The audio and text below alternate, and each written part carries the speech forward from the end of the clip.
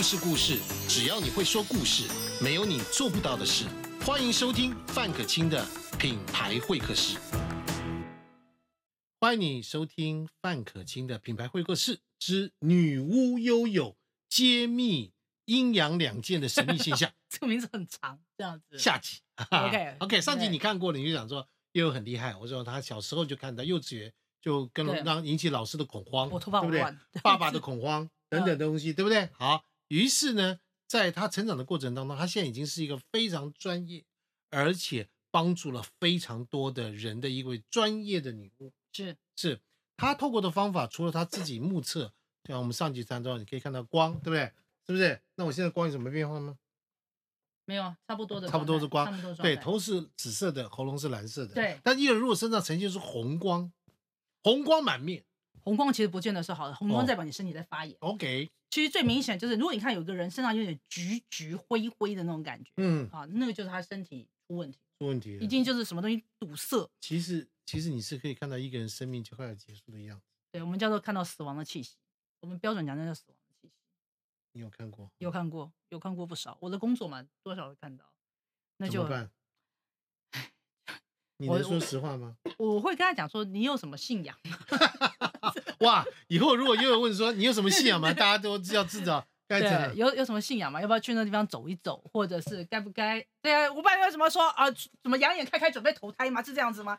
就是只能只能跟他讲说，哎，人生很多东西要有追求，这样子，你可以做一些你觉得有意义的事情。还有，你有没有什么想要爱的人还没告诉他，想要道歉的人还没说，该说一说。因为我跟你讲，我最讨厌的事情就是，呃，跟范老师也知道嘛，我是呃能够跟死灵接触的。我最有些时候，你知道我们在休息，就会有那种来说，哎，我希望你帮我跟什么我的家人，在活在世界上的家人说一说什么。我说你自己争气一点，好好去托梦，不要叫我去讲这种事情。所以我常就大家为什么都不活的时候好好这讲，都要走这件事我跟大家再说明，因为我们上一集讲的，又有一些能力，除了占卜之外，因为我还有一个很能力，他可以跟已经过嗯世的人哎，对对对沟通。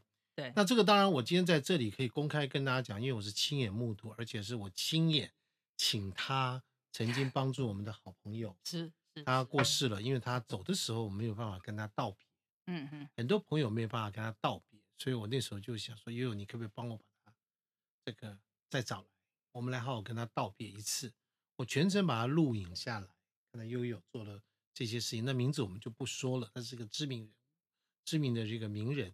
那么在这个过程当中，我看到他把这个人找到以后，开始做沟通。你是他不是附身，对不对？不是不是不是，那你的操作方法是什么？我跟大家解释一下哈，呃，我我相信有这那也不是关落音，对，不不是不是不是这种的。你用一个很简单的想法，就很像我打电话，我有个能力，我可以打电话，那打到他可能在的位置。这个就你就想，他可能第一个他可能投胎了，所以根本不在那个位置。但 OK，但是我就是打了看看。第二个，他看听到电话响了，他要不要接，他决定，我不能强迫他接。第三个，他接起来，他要不要说话，这也很难说。也有他就在在不听，因为他有点，你到底是谁？你长得不像是法师，你也长得你懂我意思啊？也有这样的。还有，如果这个人生前他就不太爱说话的，你也不用期期待说他离开这个世界，你知道吗？在另外一个世界的时候突然滔滔不绝，也不会，也不会，真的。所以我就说，那真的就是，所以我都会跟每一个找我，像我比较没有在做这个，因为我真的觉得大家活着时候好好跟人家沟通。但是呢，就是没我就希望说，你们在世的时候跟家人多说话，真的多说话，不要在那个时候，因为我传达的话，你知道有一次就是有一个，呃就是有家人要跟那个老婆婆告别。对告别，结果那老婆就说：“哦，我有留一个金项链给哪一个孙子。”哇，全家就赶快去找啊找啊，找不到，就说：“老师，你确定我那个奶奶有这样讲？”我说：“他这样讲，那我也不知道他讲的会不会他有老年痴呆，所以搞错了。”他说他是有老年痴呆，但是怎么样？后来他们真的有找到，找到了，但是不是金的，是一条白金项链，不是黄金项链。你知道，因为他后来又一直找我问，那么抽屉第几层？就我跟你讲啊，像如果我有天走了，有人来跟我沟通哈，我告诉你，我没办法跟你讲这个，因为我自己现在活着，我东西放哪里我都搞不清楚，所以大家不要以为你知道吗？人走了就变神了，没有这样子，他还是会搞错，会记错，所以不不过这件事情，我就必须要讲说，因为我亲身体验在我自己的亲人身上，嗯哼，就是我的岳父，嗯他走了以后，透过了一个呃方法，呃告诉我们说，请悠悠把他找来。哦哦，对我的过过世的岳父，那我们就悠悠就跟他接上线的时候，那岳父就交代我们一些事情，这我自己亲身体验过。不过这也不是悠悠的其这个众多能力之中的一项而已。但他一个很厉害的一项就是他可以跟宠物沟通，跟动物沟通。啊前一上集说他跟马沟通，对不对对，跟狗、猫、基本上是。乌龟，我现在有一一只那个手工，我也可以跟他沟通。这样手什么东西？手工啊，就是壁虎。壁虎对，你可以跟他沟通，对，不过他没有想要跟你聊天的意思。就是他没有跟你聊天，OK 啊？他只有说食物呢，食物呢，为什么都没有吃的？然后或者是哦，我跟你讲有，就是他，因为我那个手工，其实我一直以为他是母的，他讲说他就个小小女孩叫小花，但我每次叫小花小花，他其实没有太太理我们。然后呢，然后他的这个排泄物又很大坨，所以我常说你这是应该一个少女应该有的 size 吗？然后他就都没有在理我，就是很不屑，就是不屑。后来我最近知道，其实他是一个男生。我现在才知道他是男，你知道手工小的时候看不出来的，他要到一个一个年纪，我们才看出来是个男生。所以你让他取了一个很娘的名字，叫你叫他很叫他叫小花。小花现在要叫他花哥，这样也但也是一个很诡异的。这件事就让我想起我过去跟他曾经经过的一个经历，就是我跟我陪着他到北京，哦，跟一个女生跟我们面谈一些他在北他在中国大陆做一些节目的事情。是是就这女生听到说她可以跟宠物沟通，她立刻拿起来说：“悠悠老师，这是我养的猫，它最近非常的暴躁，你可以帮我看一下吗？”他一看这个猫就说：“她不喜欢你帮他取的名字，就像你叫那个手工叫 小花一样。结果呢，他叫那只猫叫什么呢？叫它鸡 哥。这只猫呢是一个什么呢？它是一个非常这个豪迈的大哥级的猫对，但是你叫它鸡哥，嗯他当场就翻脸。后来又有跟他讲说，你回家改名，他回家跟他道歉，跟他改名说，我从那叫你亚历山大哥，对不对？从此之后，那个猫就顺顺服服、服服对帖帖。的因为节目关系，我们讲不了太多细节，可是大家可以看到，它跟宠物沟通能力真的是非常厉害。而且我是透过真正的广播节目开 call in 给全台湾各个地方的人，只要你拍你跟你宠物的照片过来，传到我们的特殊电话，我们看完之后又马上跟他问，马上马上跟他解答。所以这种特殊的能力，请问你你在跟宠物沟通的时候，是你把你自己降阶到动物的阶层吗？还是怎么样跟他沟通？哎、其实我也我呃我怎么说呃，我跟你讲，我脑子里面会听听到他们的声音，我不是耳朵，是哦脑子。那狗是什么？男生女生？没有，他们就是一种声音，呃，不是什么男生女生，也不是小孩，它就是一种声音，没有不像大家想的，哎呀哇，怎么好可爱哦，也不是这样子，哦没有吉娃娃就长得就娃娃音，对嗯，对，没有这样子哦。其实松狮犬就长得一个什么雄壮的声音，没有。没有没有没有，就是标准的一个，你知道吗？就是我其实我不能跟你们解释，就是它是一个声音，它你听得到字，但是它没有真正的很明显的什么男生女生音调起伏，没有，但是你就知道，你就知道他在讲这个事情，你就是知道，所以我一直在研究我们大脑到底是怎么认知这些事情。是因为以前跑到华西街去看那个蛇啊，盘在那边，那个蛇就跟他讲说：“我腰好酸。” 就类似这个意思。对对我想你的腰到底是在哪一段？真 你是哪一段腰 靠腰嘞？你你这公 伞真的好大的一条蛇啊！对呀？所以我觉得很悬。我想说，所以呢，这你要我怎么样？现在要打开来吃这样子，还是怎样？因为在这种呃它的各项的功能当中，当它变成一个真正专业女巫的时候，你看到女巫都有一个东西叫扫把，这个扫把其实是不是拿来做它的飞行器？对你拿这个来做什么？这个是拿来做净化的。其实女巫的扫把有分非常多种，这种就是专专门在做净化的。这是你自己手做的吗？这不是，这是我另外，呃，这个不是，我有一个手做在我的那个办公室里面，就是 我的工作室里面，我们有真正手做，这个是特别去定的。然后呢，扫把其实大家可能都以为女巫的扫把是拿来骑的，其实我想女巫没有在骑扫把，没有，好不好？你感觉你大家有骑过那个很尖的脚踏车吗？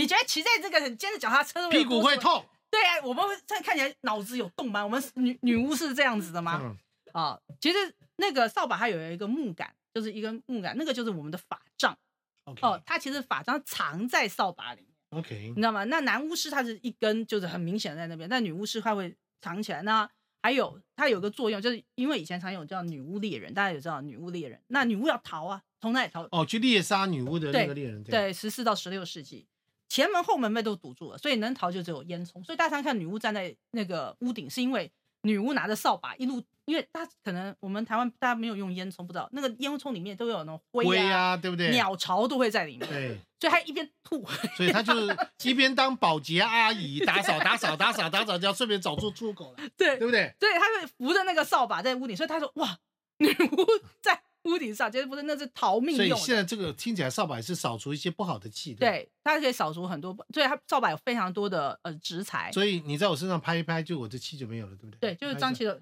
对啊，他其实就是这样拍啊，就这样，可以看到没有？哎呀，就是各种拍法。我们有很多种扫把，不同的材质都有不同的，有的黄麻，有些什么。嗯哼，好，在呃，又有在这种帮很多人去排除他生命中一些的坎，帮他去解惑。当然，你在桌上看到一个，这个是被一个上市公司老板收藏的一颗这个水晶球，放在这个地方。你解释一下，这个水晶球看起来是呃，真正颜色是属于粉红色，对，它是粉红色，不知道为什么在这边看起来如此的光线质啊，对。对，没关系。对，呃，其实它这个是有星芒，但是因为我们这个光排不出、拍不出来那个它是星芒粉晶，所以它有个光照，它会有那个十字星芒。是好的粉晶球，它其实真正的作用是什么？它真正的作用呢，其实是呃，第一个稳定能量，稳定能量。因为嗯，这样讲好了，呃，大家知道吗？粉晶说能够招桃花，不是因为它怎么样，而是因为粉晶的能量。如果你看它那个波，它是比较缓的波。那那种缓的波，就是譬如你如果是一个焦虑的女孩，你知道谁想跟焦虑的好躁郁的人在一起呢？所以你常常碰他的时候，你就会有一种平静下来，就看起来是一个需要被照顾、比较温和的一个人。好，所以呢，可是呢，它有另外一个作用，就是它可以避免小人，你知道吗？就多一点贵人，避免小人，因为你的能量是一个开放的粉红色，好的粉红色。各位你要找粉红分荧光粉红，还有这种柔和的这种芙蓉粉红。荧光粉红是呃辩论的颜色，它是有有一种想要占有、想要刺激的一种颜色。但是呢，这种润色粉红，它就是让你觉得 很平静，然后呢，让你会更好的人缘，然后小人。嗯，我大家都喜欢嘛，基本上大家都喜欢招善缘，对，避小人，是是是是，OK，所以在这个女巫，其实说实在，他们有和他们自己本身的一套的理理论。你刚刚说你们很重视所谓的能量，对对对。我们很重视到什么程度？其实你看女巫那个童话故事有分嘛，女巫其实有两种，一种就是很老的，那么那个卖苹果的 那个女巫啊，老老丑丑。你看有些那个格林童话里面很多，那鼻子尖尖的，对对对啊那个什么东西那种的啊，是 那种就女巫的。，对，那还有一种就是美的，当然很有智慧的，博士念不到的。何必没没没事，没有何必如此羞辱人呢？对，造成很多口业的女巫。那嗯另外一种就是看起来会比较年轻的，嗯那分很两种。为什么我们有些女巫，你看我们会有很多法器，是因为像我们这个派系的巫师，我们讲的就是不要用到自己的能量，因为所有的魔法它都是你知道吗？一个东西生了，另外一个东西就要消亡，所以我们会用，比如水晶，会用仪式，会用器借材，借的能量，对，借这个能量去做这件事情。那但有些女巫是用自己生命的能量来做那样的事情。那是，因为你好会敲我，真的不错。这是代表什么意思？这是一个进化的能量，这是进化的。是的，这个进化能量，因为在我们家呢被在在证实，我的太太因为有比较特殊的一些体质，她以嗯前车祸受伤，所以腰那个地方比较弱。那我有时候我带她去中国大陆，特别到一个城市叫南京，OK，南京发生过一些历史事件，你们大家都知道。那当然去之后呢，她有时候常常就在跟我住在南京里面，突然腰就直了，没办法走路，而且是非常辛苦，很痛苦。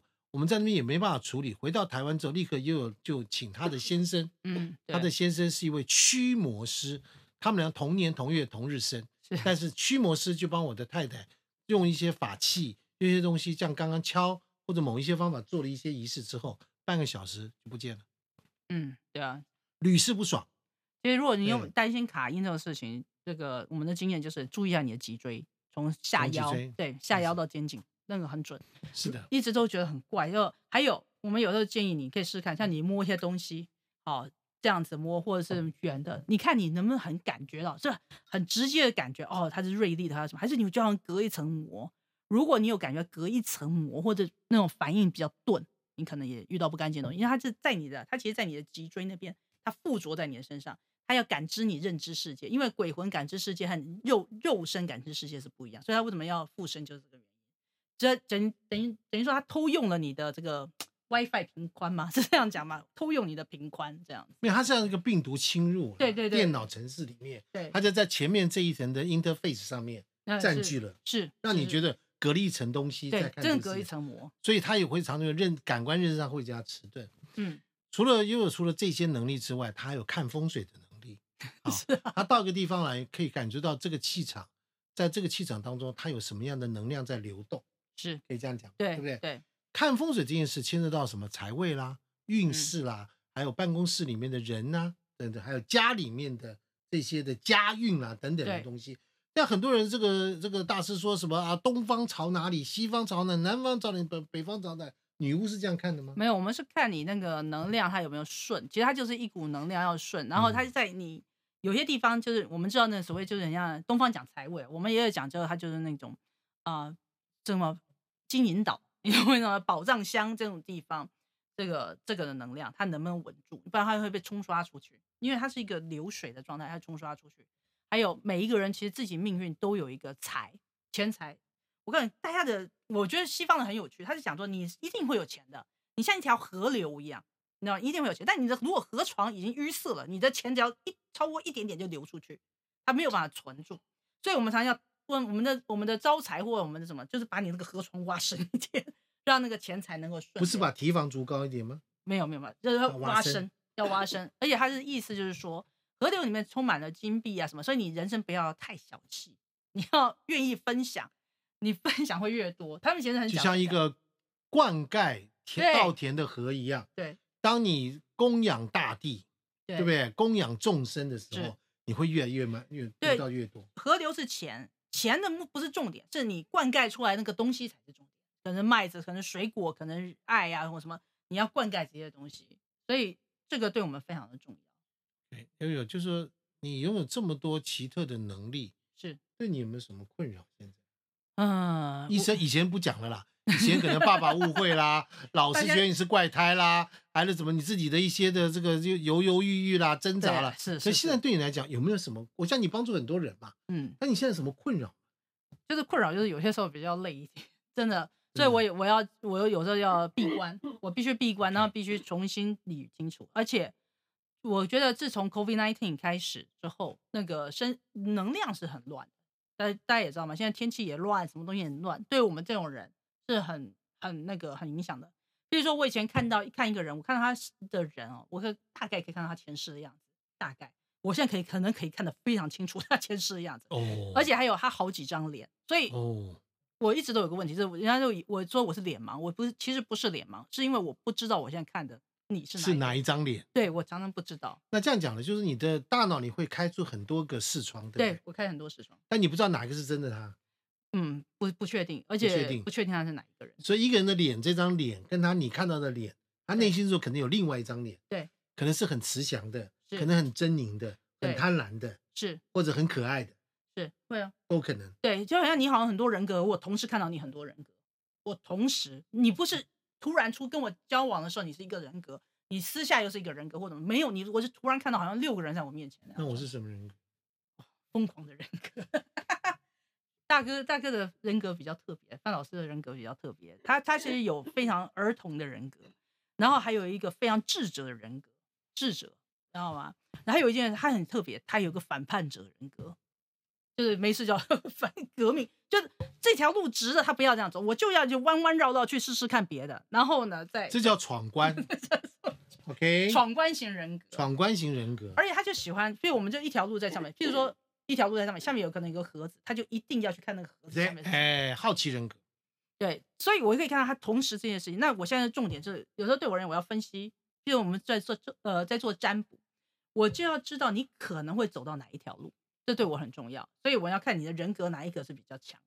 是的，在生命当中，大家就知道，我其实身边很多的朋友都因为我的关系，我介绍他们跟悠悠认识，是他们很多人也因为这样的关系，就因此而在某一些的判断当中，某一些的路途当中少走冤枉路，嗯，我觉得这还蛮重要，判断力很重要，对不对？少走冤枉路。嗯那因为时间的关系，我介绍这一位悠悠，你在网络上可以看到他大量的一些资料，而且呢，他是一个心地很好的人。你有什么人生有什么疑难杂症啊，有什么问题的话，你来找悠悠，悠悠都很愿意啊，尽他所能，在他没有在闭关的时候，好不好？对对，闭关还有没有在家里面打孩子、教孩子？谁可以打孩子啊？教育啊，小没有没有教育小孩，还有那个帮小孩做功课的哦，时间，真的他都会帮助你把你的人生找到一个可以给你一些指引，给你一些方向。在我们生命当中，在这个未知的世界里面，真的你不知道明天意外跟死亡哪一个会先到，对不对？真的你都不知道的未知的，我们大家对未知都这么样的好奇，但是身边有个嗯像你拥有这样的一个，真的是个高知识、高知识水水准分子所带来的一个在另外一个世界、神秘世界的一个指引。今天谢谢嗯岳老师。好，谢谢。半可亲的品牌会客室，在这边先跟大家说拜拜。那么想要联络悠悠的，你自己去打 悠悠心灵角落，不要来找我，我也不是呃 agent，来一个来一个这个电话号码，对不对？好，然后我好们今天节目到这里，谢谢各位，祝大家平安，一切顺利，拜拜。拜拜。